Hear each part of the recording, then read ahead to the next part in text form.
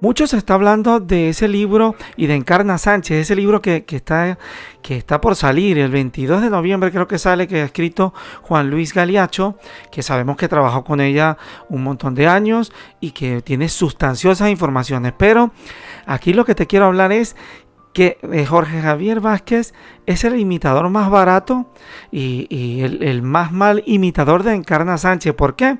Te lo cuento ahora y lo hablamos ahora. Quédate aquí. Alexander Tal, vídeos.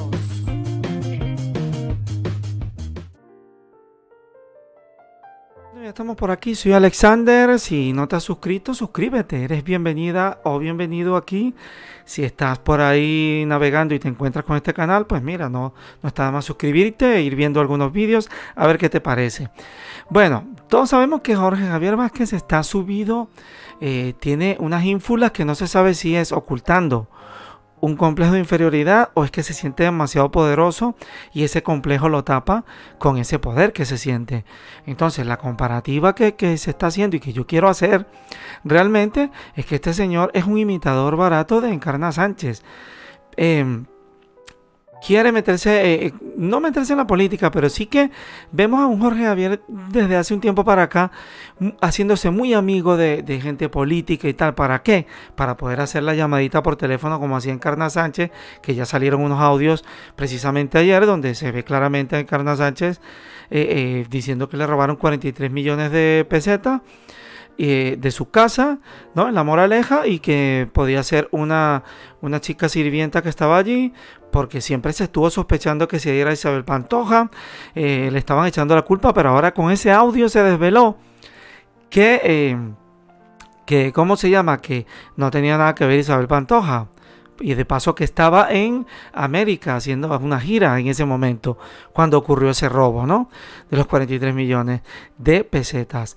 Entonces, claro, eh, había culpado, decía ella en ese audio que que puede ser que estuviera, que fuera una nueva mm, chica de servicio que estaba allí trabajando y de paso la llamó asquerosa, una negra asquerosa, dijo así.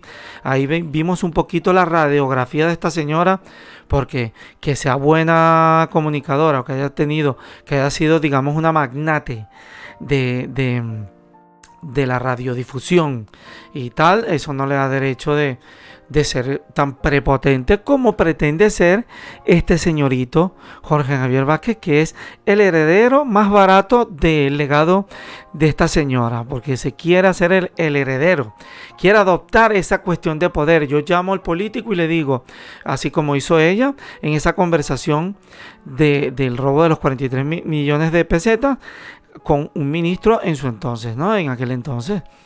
Eh, y el ministro, sí, tranquilo, vamos a poner a la mejor gente a que te investigue quién te robó esos, 23, esos 43 millones.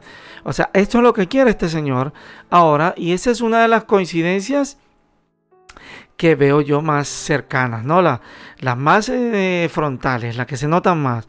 Que este señor pretende eh, conocer a mucha gente política para después alzar el teléfono y decir, despídeme a aquel, sácalo de la televisión, bótame al otro, quítame a aquel. Eh, necesito un favor tuyo y todo eso. ¿Entendéis? Entonces por ese lado. Pero ¿quién era esta señora? Ah, mucha gente, ya obviamente la gente que tiene una edad que sigue este canal sabrá, pero ha sacado este señor Manuel Román, un periodista, un muy buen artículo de, sobre ella, sobre todo con motivo de ese libro que, eh, ese libro que está, vamos a ver, de, Juan Luis Goliacho, como os dijo, les dije hace un momento que desvela un montón de secretos de ella. Pero ¿cuáles son las preguntas que nos hacemos aquí por este libro? Eh, vamos a ver.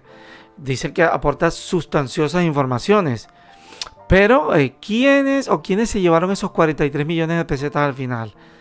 Eh, que ella guardaba en su mansión madrileña en La Moraleja.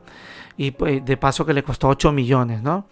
Y cómo fue su relación con Rocío Jurado y por qué la atacó cuando iniciaba su íntima amistad con Isabel Pantoja. Porque primero se hizo amiga, de, era amiga de Rocío Jurado y de repente dejó de ser amiga, se puso a, rajar por la radio de ella y a crear una enemistad entre Isabel Pantoja y Rocío Jurado. Muchos dicen que Isabel Pantoja y ella eh, tenían una relación y tal. Y también esa estrecha cercanía tan extraña con Mila Jiménez. Y cómo es que seguía también disfrutando al lado de esa joven barcelonesa Nuria un amor hasta el final. Esa es otra de las interrogantes. ¿Cuál otra hay? ¿Cómo es que no hizo otro testamento? Y dejó o se olvidó el redactado hacía ya mucho tiempo en favor de un amante a la que había olvidado. ¿Y qué pasó con toda la familia almeriense con la que no se hablaba? Son interrogantes, pero esa respuesta que se encuentran en Encarna en carne viva. Así se llama ese volumen, ese libro de, de Goliacho. Galiacho. Siempre me confundo, Galiacho, Galiacho. Pues bueno, entonces claro, esta señora supuestamente trató siempre de ocultar, ocultar su identidad, su edad, perdón, no su identidad, su edad. Eh, le decían que era por coquetería femenina, ¿no? Eh, ella contaba supuestamente, dice muchas revistas, 56 años antes de morirse, pero en realidad tenía 61. ¿De dónde era? De Almería. No tenía casi estudios prácticamente esta señorita. Le gustaba cantar copla, la moda. En la posguerra iba a alguna emisora y la anunciaban como Carmen de Almería. Probó como locutora, una bonita voz y tal y también mm, tenía mucha facilidad de expresión, es lo que se cuenta, ¿no? Dio el salto a Madrid, de Radio España pasó a Radio Miramar en Barcelona. Y después allí protagonizó una, una cuestión que tuvo que marcharse de, España. ¿Tuvo algo que ver? Se pregunta la gente. ¿Tendría algo que ver doña Carmen Polo de Franco? Pues bueno, dicen que en México hizo muchas telenovelas y tal. Eh, pero mm, radio también y mm, funciones teatrales. Pero después que vino a España, eh, volvió a empezar y eh, dice este señor, un, periodista que ha escrito muchas reseñas, que la había conocido a mediados del decenio de los 60, o sea, en los 60, ¿no? Este señor se llama Manuel Román. Y claro, tuvo una novia que se llama, era la actriz Clara Suñer, ¿no? Y después, claro, se encontraba por ahí. Bueno, es que hay muchos datos, es que la vida de esta señora fue muy, muy heavy, muy tal, muy sucedida, muy comentada. Pero lo que más llamaba la atención de esta señora era eh, ese carácter y esa cuestión de que, es la que quiere implantar el señorito Jorge Javier. Hoy en día nos quiere hacer temer, quiere, quiere que la gente sienta miedo. Menos mal que Raquel Mosquera ayer le paró los pies. Dicen en las revistas sesgadas por ahí, ah, compradas, no sesgadas, las revistas compradas, eh, los titulares eran Raquel Mosquera, Jorge Javier le atiza a Raquel Mosquera, Jorge Javier le para los pies. No, la que le paró los pies a Jorge Javier fue Raquel Mosquera, que le contestó muchísimo, perdón. Un poquito de café porque hasta ahora me entra el sueño. Entonces, le atizó un montón y ella le contestó muy claramente todo. Él le decía mentiroso, le decía más mentiroso eres tú. Tú ahora eres amigo de Rocío Carrasco y ahora te la pasas mandando mensajitos y, tal. Y, o sea, llamándolo pelota prácticamente de Rocío Carrasco. No se cortó un pelo Raquel Mosquera en contestarle a los ataques de él porque las preguntas que le hicieron, muy poco se la dejaron contestar porque estaban hablando encima de ella, molestando como hacen ellos, María Patiño, el otro, el otro y el de la moto. Entonces este es el carácter que quiere eh, eh, hacernos ver Jorge Javier Vázquez. Pero entonces, eh, ella dijo, por, un lado, lo que se cuenta por ahí. Fijaos que muchos aseguraban todas las informaciones que hay por ahí que ella había tenido un romance con Mila Jiménez. Esto no se sabe bien, pero es lo que se dice. Que mediante supuestamente un cheque con valor de medio millón de pesetas, contrató en su programa de la COPE, pagándole además semanalmente 75 mil pesetas semanales la que ella estaba contentísima, Mila y tal, y le regaló un coche, no sé si un 1500 o quizás fue un Mercedes. Pero la entrada de Isabel Pantoja en escena acabó con Mila. Por eso es que podemos ver que Mila Jiménez, si esto fue, si esto fue verdad, que no sabemos a ciencia cierta al mil por cien, por eso es que se dice que, y es lo que hemos visto, que Mila Jiménez no podía ver ni, ni, siquiera escuchar el nombre de Isabel Pantoja. No la podía ver ni en pintura. Era eh, encarnecidamente, nunca mejor dicho. este, la atacaba muchísimo, ¿no?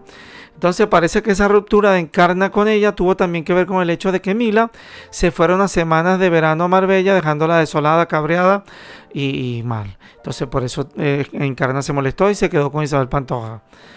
Entonces, claro, eh, dicen que a Isabel Pantoja Encarna le regaló un montón de cosas, pero vamos a hablar también, te cuento, de la, la enfermedad que tuvo ya, cuál fue el cáncer de pulmón, ¿no? Luego se le complicó con ramificaciones cerebrales, bueno, fumaba muchísimo y resulta, eh, resulta una paradoja, como dicen, que en sus principios como locutora, un, un veterano del micrófono advirtiendo que la joven pronunciaba con voz muy aguda, le recomendó que hiciera uso del tabaco. O sea, que irónico, ¿no? Le recomendaron que hiciera el uso del tabaco para bajar el tono, porque tenía una voz aguda. Pues entonces imagínate, Sofía Soescun que tiene la voz aguda, pues que fume más. Y entonces eh, Nuria Marín también, que fume más, porque tienen voces agudas. Eso es una tontería. Para ser locutor de radio no hay que tener estar importando la voz. Eso ya pasó de moda. Bueno, en aquellos tiempos sí que se llevaba el tema de, de hablar muy grueso y tal. Pues entonces, claro, se llevaba ese tema, ¿no? De, de hablar así en plan locutor, super locutor, grueso. Pero ya hoy en día eso nada. Fijaos que entonces que eh, le dijeron que fumara y ya ven con qué resultado necrofílico, ¿no? O sea, eh, procuró que nadie se enterara de esas enfermedades, salvo los íntimos amigos, su productor Pedro Pérez, sus comadres, por ejemplo, de la mesa Camil, o sea, Camilla, la mesa Camilla, Mari Carmen Yepes, Maruja Díaz, Paquita Rico y Carmen Jara. Eh, Encarna entonces recurrió primero a hacer eh, fue a un hospital de Houston, pero luego en una clínica de París donde viajaba en tren por su fobia a los aviones. Le tenía una fobia a los aviones, dicho por muchos y sabido por muchos. Cada semana o cada quincena, según iba el tratamiento, iba despistando poco a poco a los reporteros para ocultar. Esta señora tenía un carácter heavy, heavy, heavy, ¿no? Permanecía en su casoplón de la Moraleja, donde su oncólogo la trataba, que se llama, eh, bueno, Manuel Santos, doctor Manuel Santos. Ya no tuvo otra opción que anunciarle que le quedaba muy poco de vida. Le quedaba muy poquito de vida. ¿eh? Y esto dicen que fue en 1996. Bueno, dicen no, fue, porque ya dejó el programa en ese año y la sustituyó Esmeralda Marugán. Y no volvió allí a la COPE. Entonces, claro, no tuvo más remedio, le dijo el doctor, mira, ya esto está listo y una semana, unos pocos días, no le quedaba mucho ya. No iba a llegar ni a Semana Santa, le habían dicho en aquel momento, ¿no?